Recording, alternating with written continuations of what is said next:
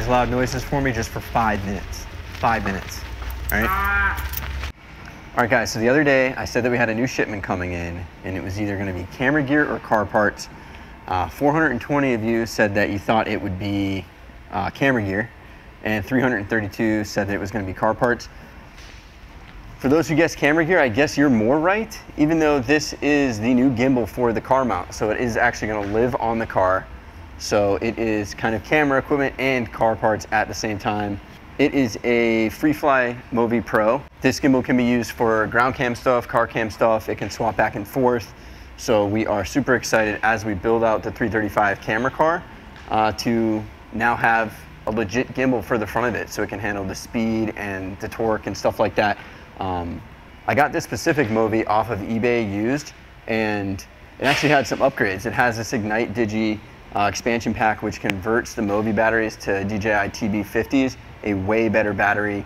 Um, we have a bunch of those on the way for another cool toy as well. It came with the Mimic system, which actually allows an operator to use the gimbal and worry about just handling the gimbal, and I can be here with a monitor, basically telling the gimbal what to do. And a really cool feature about this is that I can actually plug in a PS4 controller into the Mimic and wirelessly control the gimbal.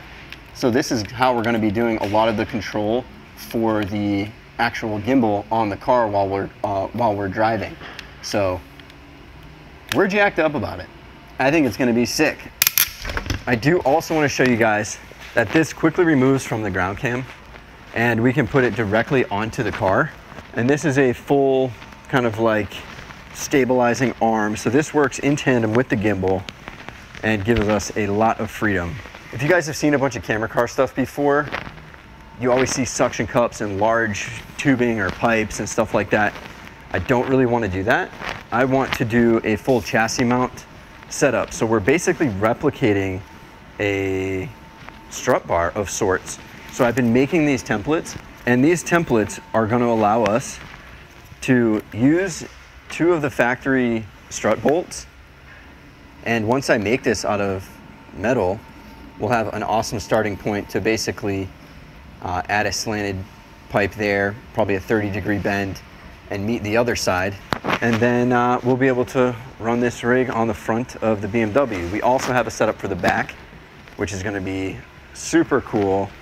Um, so this can go in the front and the back with full control from the passenger seat of the car. And we also got a bunch of GoPro sleds so we can load this car up. I have one right here. So we can have basically the GoPros on the front and the back showing this entire system, what it's doing, and also what we're filming. So that's gonna be super cool to show you guys kind of how we get the clips or what this looks like and showing you what the clip, the final clip looks like. Now let's jump into the car. I wanna show you a quick thing I did to make it easier to do wireless tuning on the go, whether we're switching gas, switching trans maps, all that kind of stuff for different shoots. So I also got this wireless OBD2 reader from coloradon5x.com. They sell a bunch of awesome products for this platform. But what this does is this allows me to do all my engine and transmission tuning on the go wirelessly. Um, I recently took this car to the drag strip, embarrassed myself, ran at 1230. And the purpose of this car is not to be a super fast competitive drag car, but I definitely want it to have the ability to keep up with anything that we're shooting I don't want to not be able to get a clip because the car is not fast enough. So we got this. It's awesome. And for projects like Rocky Mountain Race Week, we're really thinking about bringing this on Rocky Mountain Race Week. So if there's a leg where we know there's only 93, we can just run 93. Or if we actually are racing in the event, we can swap it to an ethanol map, carry a few gallons of ethanol, switch to trans tune, and really get after it.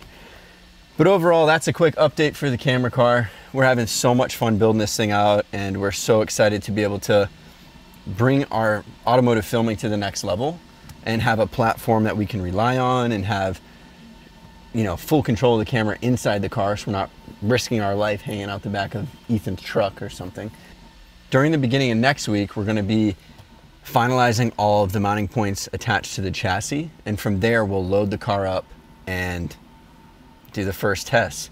What do you guys want to see as the first test car Um, I'm sure it's gonna be something maybe at the Freedom Factory. We have Mike Massey's drift car, which will be done. Um, so there's a lot of cool cars coming up and a lot of awesome opportunities to use this setup. So we'll catch you on the next one.